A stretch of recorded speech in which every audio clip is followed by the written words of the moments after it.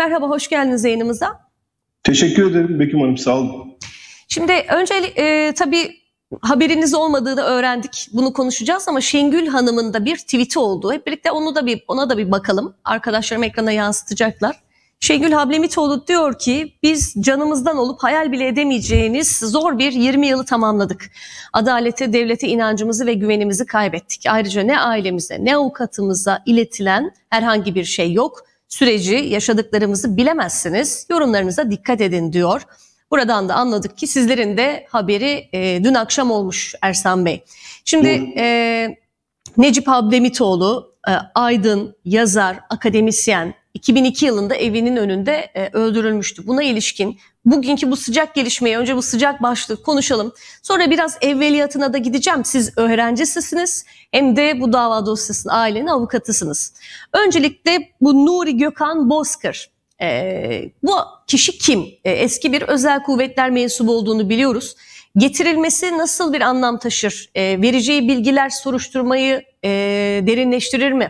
Yani e, bu yapılanmaya, bu organizasyona ilişkin önemli bilgiler bilen biri midir? Ee, sizden bir, bir hem bu kişinin profilini bir dinlemek isteriz ve de Türkiye'ye getirilmiş olmasının e, nasıl bir e, etkisi olur? Buyurun. Teşekkür ederim. E, Profesör Şengül Abdülhamitoğlu'nun tweetinin içinde çok ciddi anlamlar var. E, Türkiye Cumhuriyeti'nin geleceğine dair kaygı taşıyan her yurttaş bu anlamı aslında ciddi biçimde irdelemeli. E, Profesör Şengül Abdülhamitoğlu'nun tweetindeki anlamların aynısı 24 Ocak 2022 günü Güldal Mumcu'nun Uğur Mumcu'nun ölümünün üzerinden e, uzun yıllar geçtikten sonra gerçekleştirdiği beyanlarda da vardı. Zira bakın çok önemli Uğur suikasti şeklen faili meçhul bir suikast değil. Hı hı. Ee, kimin bombayı koyduğu, kimin e, hazırladığı, hangi otele gittikleri, hangi restoranda yemek yedikleri hepsi belli. Ama e, olay aile açısından faili meçhul. Neden? Çünkü bir suikastin tetikçisini bulmak ya da tetikçi görünenini bulmak e, ne aileyi ne de aslında suikastlerin asıl hedefini yani toplumu tatmin edecek güce sahip değil. Güldal Hanım da onu söylemişti değil mi? Olaydan hemen sonra dönemin emniyet müdürünün tuğla çekilse duvarın altında hepimiz kalırız ifadesinin anlamı sorgulanmadığı sürece bu suikastlerin tamamı şeklen failler bulunsa bile faili meçhul cinayetlerdir. Ve bu ülkenin Uğur Mumcu, Ablemitoğlu, Kışlalı, Aksoy, Üçok e, ya da Çetin Emet, İpekçi bütün bu Cumhuriyet aydınlarına, faili meçhul Cumhuriyet aydınlarına ve ailelerine bir borcu var. Dolayısıyla bu anlamı eğer geleceğe beraber adım atmak istiyorsak ciddi biçimde irdelemeliyiz. Bu, bu, bu açıklama meyanında ifade etmem gerekirse Nur Gökhan Bozkır geçmişte ne görev yaptığını bilmiyorum ama e, benim temsil ettiğim dosyadaki vekillik görevini yürüttüğüm dosyadaki e, ismi geçmesi ardından irdelediğimizde kişinin eski bir özel harpçi olduğunu, özel harekatçı olduğunu, bir eski askeri olduğunu öğreniyoruz. E, ama bakın yani şunu da söyleyeyim. Nur Gökhan Bozkır'ın ismine nasıl ulaşıldı? çok rastlantıyla ulaşıldı. Aslında e, Necip Ablemitoğlu suikastini e, kendi iktidarları döneminde faili meçhul kalmış tek suikast olarak tanımlayan ve bu suikasti çözmenin bir namus borcu ifade hı hı. E, o, ifade ettiğini söyleyen devlet mekanizması e, e, daha fazlasını beklemek Ablemitoğlu ailesi açısından aslında hiç yadırganacak bir yana sahip değil. Çünkü e, FETÖ çatı davasını anımsarsınız 17-25 Aralık e, sonrasında e, görünüşte savcılık mekanizması ve emniyet mekanizması üzerindeki Fethullahçı örgütün e, varlığı ortadan kalkınca bir çatı dava iddianamesi hazırlandı ve bu iddianamede Hablemitoğlu'ndan dört mağdurdan biri olarak söz edildi. Mağdurlardan biri Türkiye Cumhuriyeti, ikincisi Maliye Hazinesi, e, üçüncüsü Hablemitoğlu, dördüncüsü Seher Küçük. O da bir başka faili meçhul cinayet. Bu anlamda Şimdi, baktığımızda FETÖ'nün işlediği ilk cinayet diyebilir miyiz? Diyemeyiz. Şöyle diyemeyiz sorusu da memnun etmiyor kimseye ama bakın ben hukukçuyum. Ben bunun FETÖ tarafından işlenmişse eğer bunu en ciddiyetle, en cesaretle anlatacaklardan biriyim.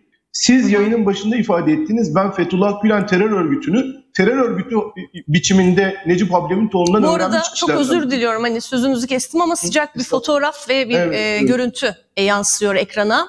E, evet. Buyurun buyurun efendim. Estağfurullah. E, dolayısıyla e, Nuri Gökhan Bozkır'ın bu olaya dair bilgisi olduğu bu olayın gerçekleştirilmesi sürecine dair bilgisi olduğunu ciddi biçimde kuşku ötesi gösteren çok ciddi veriler var soruşturma dosyasında. Yani olay yerinde var olan e, görgü tanıklarının tespit ettiği şüpheli araçların emniyette ifadeleri alınması öncesinde iletişim kurduğu kişiler arasında adı geçen Hablemitoğlu'nun suikasti öncesinde Hablemitoğlu ile beraber Hablemitoğlu'nun panele gittiği şehirlerde uzun süre kendisiyle baz verdiği tespiti yapılan Hablemitoğlu'nun öldürüldüğü, suikaste maruz kaldığı, katledildiği gün ders verdiği kampüs çevresindeki belli kişilerin iletişim içinde olduğuna dair ciddi kuşkular olan bir kimse bu. Dolayısıyla e, katil midir değil midir? E, olayın neresindedir? Bir yerinde midir değil midir? Bütün bu soruların yanıtını an- ancak bugün şu an yayında da ilk defa gösterdiğiniz fotoğraftaki kişilerin ifadeleri alındıktan sonra tespit edeceğiz. Bakın Begüm Hanım iki şeyi tespit edeceğiz aslında. Niye önemli biliyor musunuz bu kişinin yakalanması? Bir, olaya dair gerçekten bilgisi varsa olayın çözümlenmesine ciddi katkı sağlayacaktır. Hı hı. İki, olaya dair e, Oda TV'ye verdiği, yakın zamanda verdiği röportaj doğruysa ve olaya dair gerçekten bilgisi yoksa 3 yıldır sadece bu kişinin e, Türkiye'ye getirilmesini bekleyen soruşturma dosyasının beyhude beklediği ortaya çıkacak ve bu kilit ortadan kalkacaktır. Yani bu kişinin yakalanması önemli midir? İki yanından baksanız da önemlidir.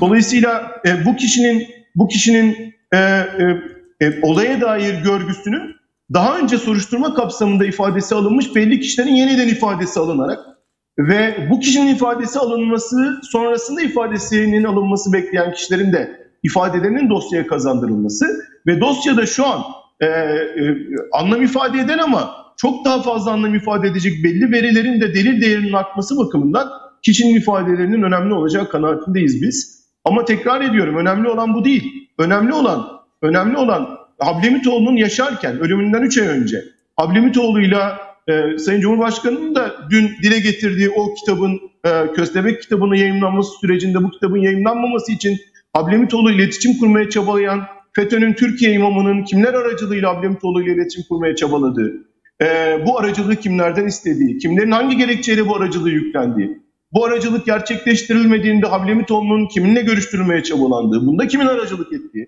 bütün bunların aydınlanması gerekir. Necip Hablemitoğlu önemli kişiler. Önemli kişi. Bakın Uğur Mumcu, Necip Hablemitoğlu, bütün bu isimler zamanın ötesine yazan kişiler. Bakın Uğur Mumcu'nun hala kitaplarını satır satır okuyoruz. Bundan 30 yıl önce hayatını kaybetmiş, hayatı elinden alınmış bir kimsenin ve araştırmacı bir kimsenin yazdıkları 30 yıl sonrasına nasıl yansır Allah aşkına Begüm Hanım? Bunlar zamanın ötesinde yaz- ya- yazan kişiler.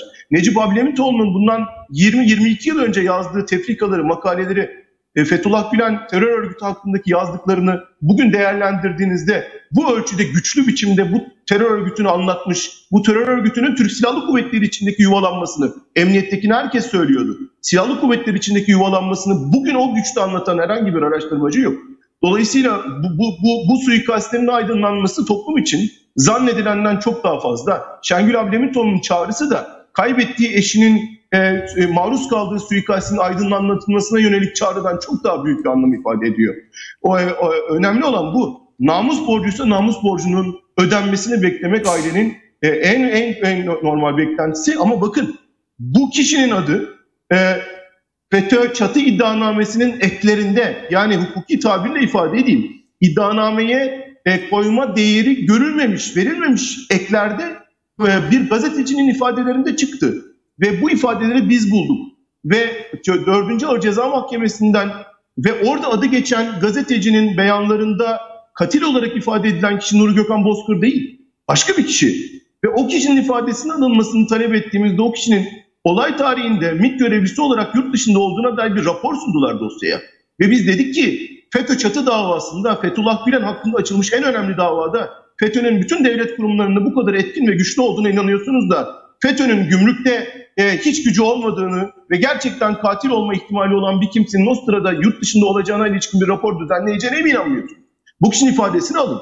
Bu çağrımıza mahkeme kulak vermedi ama soruşturmayı yürüten, Hablemitoğlu'nun münhasır bağımsız soruşturmasını yürüten Cumhuriyet Savcısı e, e, bu bilgilerin sahibinin e, gazetecinin ismini almak istemiyorum. E, o kişinin ifadesine başvurdu. O kişinin ifadesinden katil olarak şu an ismini anamayacağım MİT kanunu muhalefet suçunu işlemek istemem. E, o kişiye nasıl eriştiğini, bu konuda hangi gerekçeyle bilgi sahibi olduğunu öğrendiğinde gazeteci dedi ki ben bunu Nuri Gökhan Bozkır'dan dinledim. Bunun üzerine